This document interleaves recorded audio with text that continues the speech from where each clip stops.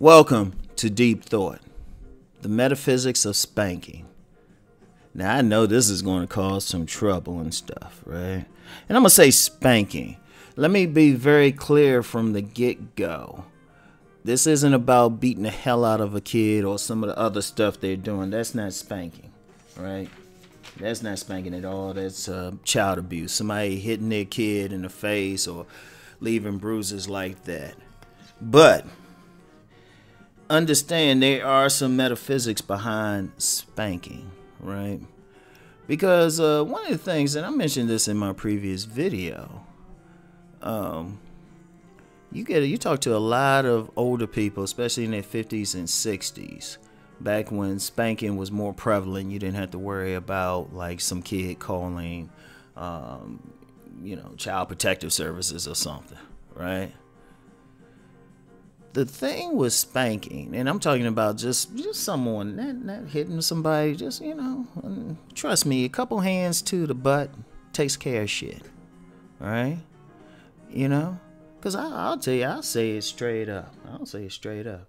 Everybody always see my sons and say they very well behaved, like extremely well behaved.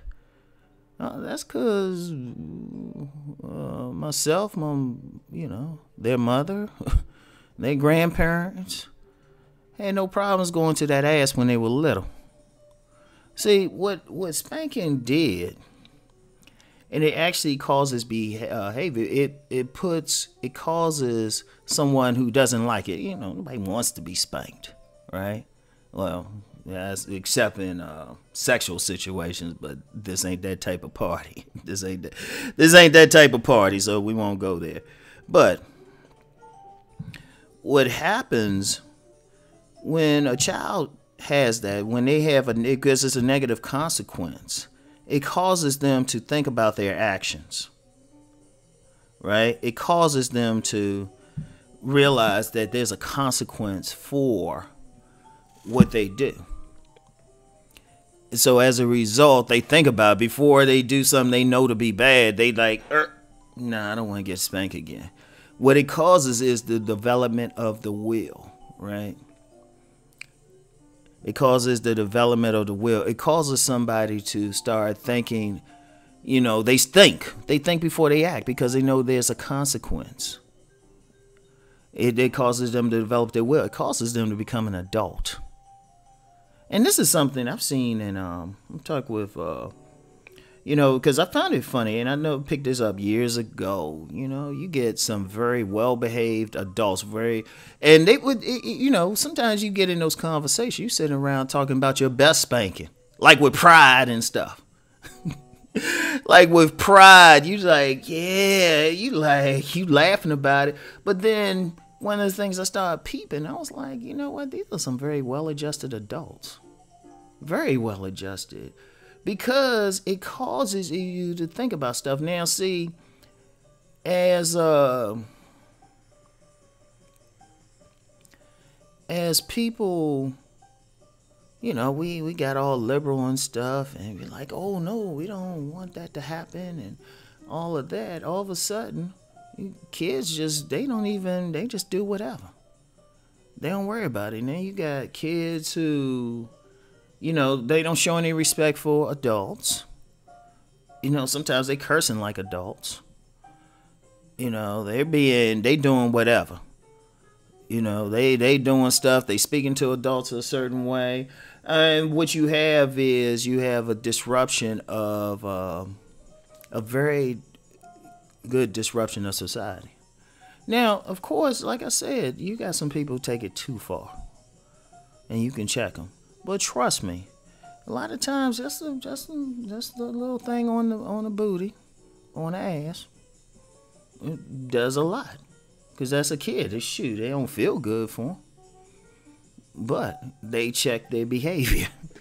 they check their behavior, and within reason, it can. Uh, you know, like I said, I've seen adults, adults, 50s and 60s, and they, they still remember stuff, laugh about it because you know you don't have to worry about them or anything because see one of the things we have a problem with in this in this society we have to use outside forces to check behavior and that's that's a savage thing. The larger the police, you have a large police, you got to have a large security force, large police force, basically to check bad behavior. And that's because they, these you see a civilized society, and I'm gonna say it, a civilized society would have a mechanism where someone, um, you know, develops within their own spirit the ability to basically follow the rules, to be okay. You know, they would just develop that. And I know, I know, and I know I'm gonna get some people, probably get some arguments, and you know, they'll say, "Oh, just let the kids do whatever." Well, those those kids on drugs and stuff. those those kids on drugs. Those those kids talking about 15. They want to be emanci- emancipated and stuff.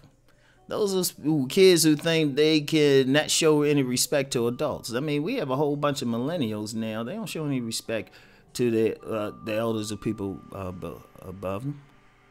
That's because somebody thought, oh, it was a great idea. Just let the kids grow up and everything. Just let just let them do whatever and all that. They're little peep. They're little they're little grown ups. No, they're not. They're kids. Kids are sociopathic by nature. They supposed to be. You know, they have to. That's why in civilized cultures they have a rites of passage to let them know, okay, you're an adult now. Yet now you have you have a critical mass of the population who they can be in their 30s, 40s, and 50s and they behave like children and how they do stuff. And it is is is is is amazing to see. it's amazing to see that somebody isn't making a correlation that wait a minute, they they weren't, you know, at no point were they made to think about their actions or a consequence of their actions. And see, that's the metaphysics behind it because a metaphysical thing is developing the will. A metaphysic thing is developing the self awareness to check your own behavior. You know, we live in a society. Most people, the reason most people won't commit crimes is not that because they, you know, just have some inherent thing in them that says it's wrong to commit a crime. The only reason is many people just don't want to run afoul of the criminal justice system. That's why in situations like riots, you know, where there might be a breakdown or situations where people can get away with it, stuff happen. And this is this is all the time. Like I use the example of riots, but you know, I work retail, and you may, you have like middle class women like shoplifting. You know, I mean, I mentioned uh, on my business channel merchandise before you know, I'm sitting down putting out some socks or something, and some woman casually, some woman looked like a soccer mom casually talking about how she stole some socks, and then I just looked at her, and she looked at me, and I'm just like, but how come there wasn't something in that woman to say, you know what, this is wrong to take that? See, that's what it means. That's what the metaphysics are. It creates, it develops the will. See, and I don't think I don't know if I've really discussed the three levels of man, but uh, just real quick, in many traditions, many traditions, there were always three levels of humanity. There was the sage.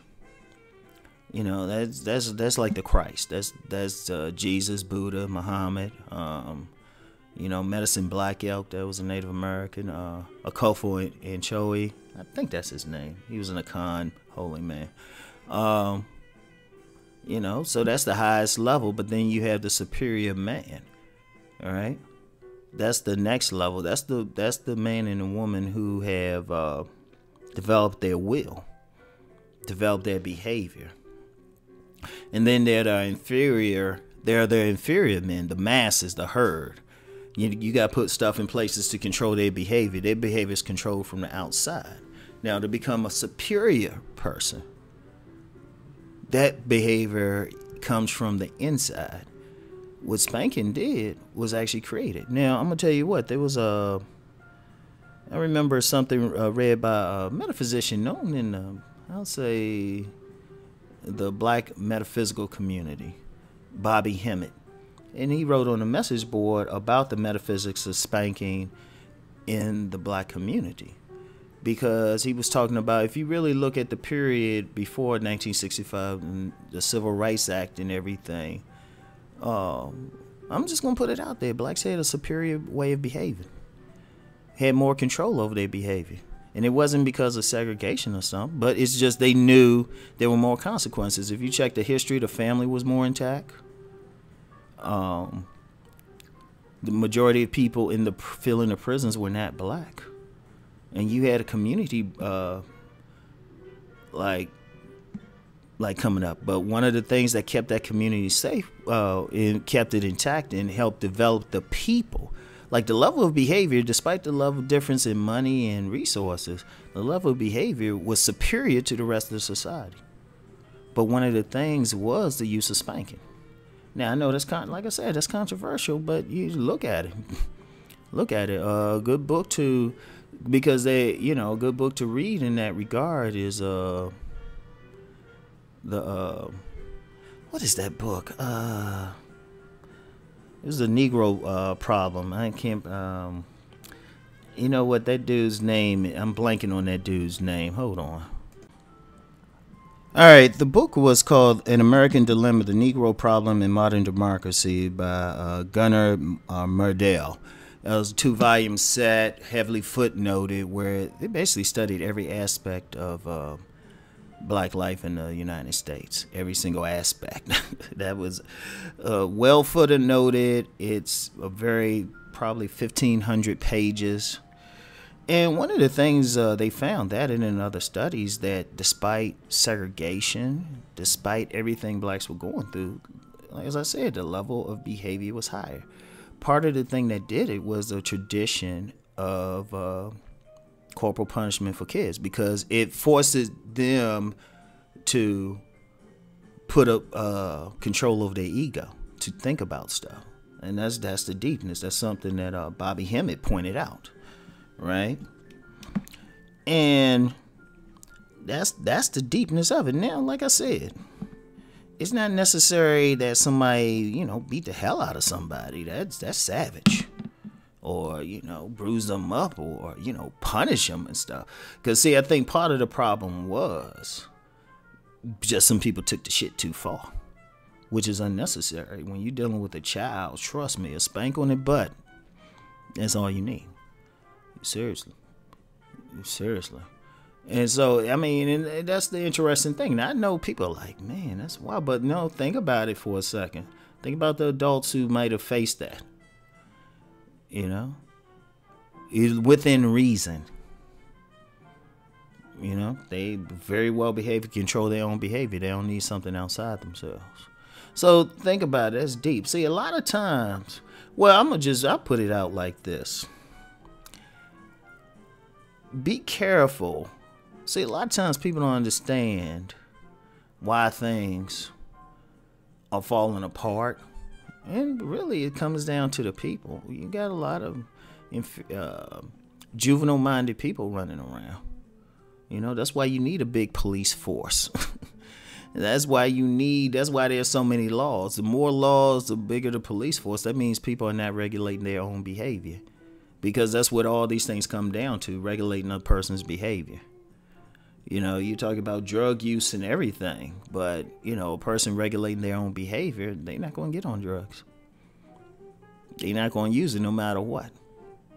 Because they've developed the ability to regulate their own drives. And I'm, I'm gonna get I'm gonna get more into that later on. So anyway, right?